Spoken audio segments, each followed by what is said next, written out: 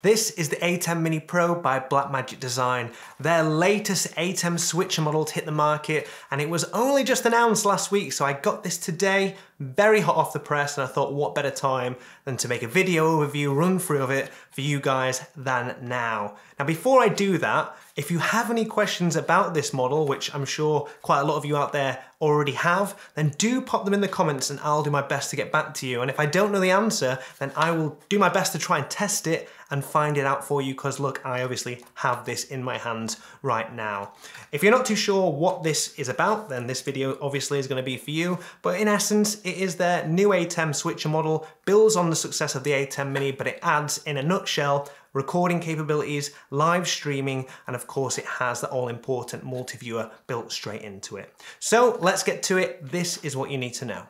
The body is pretty much identical to that of the ATEM Mini, with the addition of a few extra buttons on the top control panel, more on that to come later. There are four HDMI inputs on the back, since this is a 4-channel HD mixer, each supporting up to 1080p at 60 frames a second. There's a single configurable HDMI output, a USB-C connection, Ethernet port, two stereo 3.5mm jack audio inputs, and a locking DC power connector. Okay, so now that I'm all plugged in, of course the first thing I'm going to notice as soon as I turn this on and plug it in is that I've actually got that multi-viewer. Now I've got mine being displayed just on this Blackmagic Video Assist, uh, to the side off screen here. Now that is pretty small to be honest, but I'm more using it just so I can do a local recording and show you what that multi-viewer looks like. So on the screen on this multi-viewer, much like all the other ATEM multi-viewers, it is completely configurable. You can change the labels, bring up audio meters, but the, in essence, the whole idea is that you have everything in the one place. Now, we've got all the cameras at the top row there, camera one, two, three, and four. I'm just using the two cameras in this setup. And then as I cut between each one, at the moment I'm previewing camera two, we'll take that live, and you see on program that switches over, and vice versa. We've also got a media player, so we can load in graphics, still images, and bring that in. And what's pretty unique with this ATEM Multiviewer is that the other three windows we have at the bottom there are dedicated to giving you a status update on your recording, your live stream, and of course all of your audio meters. So really this whole thing has been designed so that you can see everything in the one place very clearly. Now on this ATEM there is only the one HDMI output and like I've said it is fully configurable. It works in the same way as an aux out so you just set what you want that to output. And that's where the multi-viewer is sort of incorporated, it sits within that aux. So on the right hand side here, where we've got a few of these new additional buttons, that's where we control from the control panel on the top there, what we want to output. At the moment we're outputting our multi-viewer, so that's how you can see my arms flailing around and all my different shots, etc. We can change that to program. If we just want to monitor our program feed like so, and as I cut from camera to camera, this will cut. And then of course we can show our individual cameras. Now much like the ATEM Mini, the ATEM Pro also has a USB-C port, and if you connect a computer to that USB-C port, this ATEM will basically show up as if it was a webcam. And if you go into Facebook or YouTube, whatever program you want to use, where you'd normally have your webcam showing up to go live, you basically go in the drop down and instead of picking your built-in webcam, you change it to the ATEM. We can actually use that USB-C port now to record directly from the ATEM Mini Pro onto the likes of USB thumb drives, old school spinning disk drives, or even SSD drives.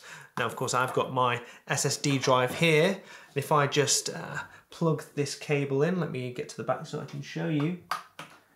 If we plug it in, I'll just go to the front and you can see this light here where it says disk has just lit up. And of course, right from this control panel, I've not looked at anything else. I can just hit record and now we are recording to my SSD drive. We're recording our program out.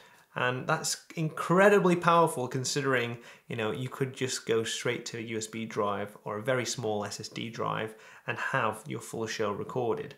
And of course in the software control panel you can also see the drives that we're using and the status of them. So obviously it's great that we can record our show using that USB-C port, but how do we go about actually streaming? Now, like I said, this has a built-in hardware encoder for streaming. So the Ethernet port is how I'm connected currently to my MacBook Pro just off to the side here. Now that Ethernet port, the one connection gives me two things. One, it allows me to use the software control panel that I'm running on my MacBook Pro so that I can control all of the settings of this from my MacBook. Two, it actually supplies an internet connection from my MacBook to the ATEM Mini Pro. Now on the streaming tab within the software control panel, that's where you'll basically have all of the controls for setting up that direct stream from the ATEM Mini Pro to whichever platform you'll use. Now if I just go to that, and you'll see on the top right we've got live stream. If I just click on that, and then on the platform we've got YouTube, Twitch and Facebook as presets already in there, makes it a bit easier for you. So if I just leave it on YouTube, uh, keep my server as primary. All we now need is the stream key. Now to get that information, you simply just go onto the website that you're using, like YouTube or Twitter, and then set up a live stream. And when you set up a live stream, you'll basically be given the stream URL and a stream key. And of course, we just need to copy and paste the stream key into that field, decide on the stream quality that we want to stream at. Now, of course, this is going to be dependent on how good your internet speed is. Um, mine should be okay, so I'm going to go for streaming high. Once that's in there, we click on air. And of course, we can now see that we are streaming live. We've got confirmation on our multi-viewer that it's streaming. We can, of course, go on YouTube and we can see that we are getting a video feed. So that's perfect, we are live. Now, of course, if you want to stream to the likes of other platforms that aren't in that list, I know I'm very aware there's only three in there. Um, the way you would do that is there is a way to edit the XML document uh, that sits within the ATEM Mini Pro that houses all of these streaming presets. Uh, you can open that XML document and input your own customized uh, presets within there. An update for the Blackmagic Pocket Cinema Camera 4K and 6K was announced. And this update brings along some really impressive features for when you're using those cameras with either the ATEM Mini or the ATEM Mini Pro.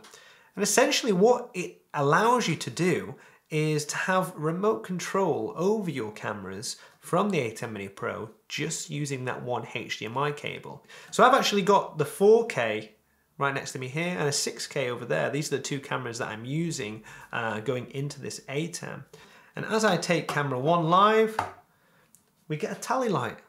You get a red tally light for the camera that's live, green for when it's on preview, and then obviously blank if it's not queued up at all.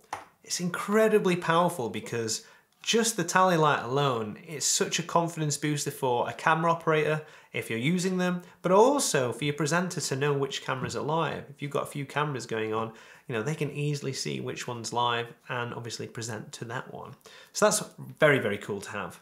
The second cool feature, of course, is that we now have full integration in the camera control panel of the remote controls for the camera. What it allows me to do, in essence, is control all of the camera settings, you know, your ISO, your shutter speed, the gain, the white balance. I can also adjust the iris and the focus when I'm using the still base lenses because obviously they're electronic, they're active. What's really cool is if you stick a servo lens on there, and I've got a little one, a little micro four thirds one that'll work with this 4K, I can even control the zoom all remotely from the software control panel. So, you know, if you're using a few of these cameras, maybe you've even got them already for creative filmmaking and you're looking at this really to, to step you into the world of being able to offer live streaming, then as a sort of complete package, you know, you can operate all those cameras, all that gear, you know, just from this one device and a computer.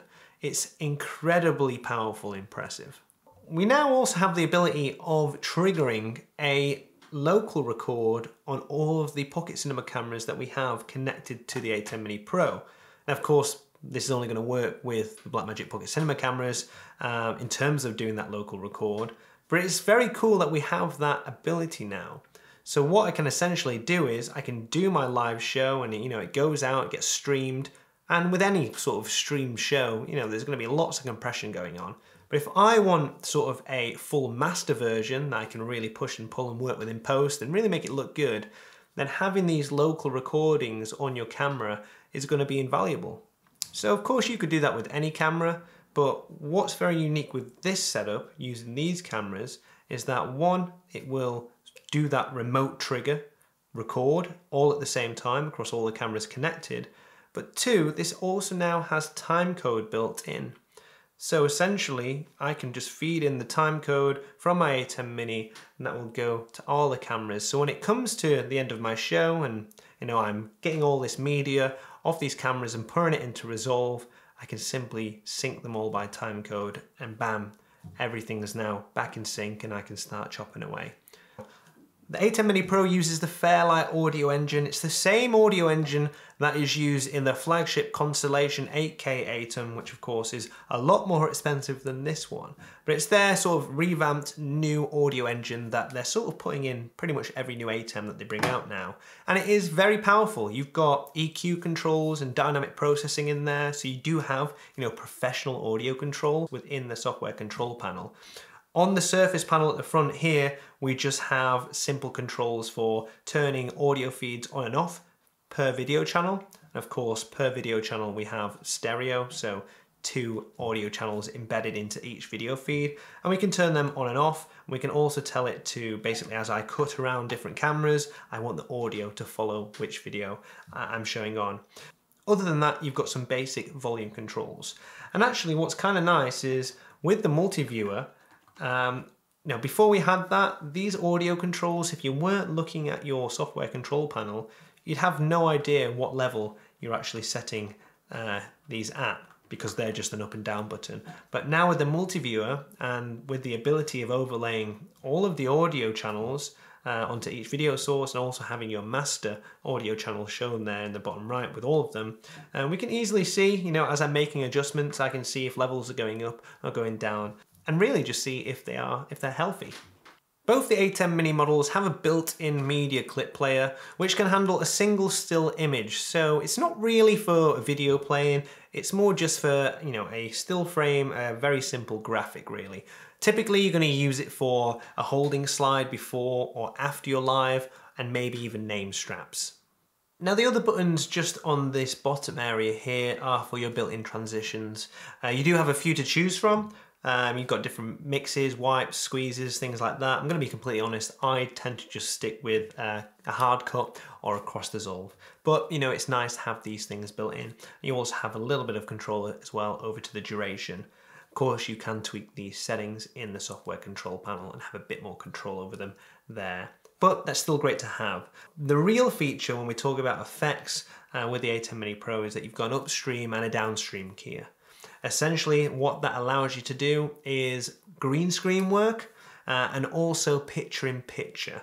Uh, and picture in picture at the top you can see we've got some other buttons there. Essentially we can have one video source overlaid onto another you know in a small a small box. That's why it's called picture in picture. Um, I would say if you're going to be using that set it up first in the software control panel because you can really then actually fine tune whereabouts you want it how big you want it you know borders backgrounds and actually what your uh, video source that is going to be overlaid is going to be. So I hope you found this run through useful guys. The only other thing that I would say just to, to round it off is that Blackmagic are very good at making an ecosystem when it comes to their live products. Uh, and it's no different with the ATEM Mini Pro. Uh, because of that network connection, there's no reason that I couldn't upscale my production and add, you know, the ATEM advanced control panel, uh, the camera control panel, uh, have multiple laptops hooked up to it, uh, all running the software control panel but on different pages so I can have different operators on looking after the cameras or looking after the media pool or looking after the audio. I could even add hyperdecks and have remote control over them again through that network connection. I can really upscale and you know grow my production as much as I need to and if I don't need to then of course I can scale it all back down just to this device and still have all of that capability and flexibility within this small compact unit.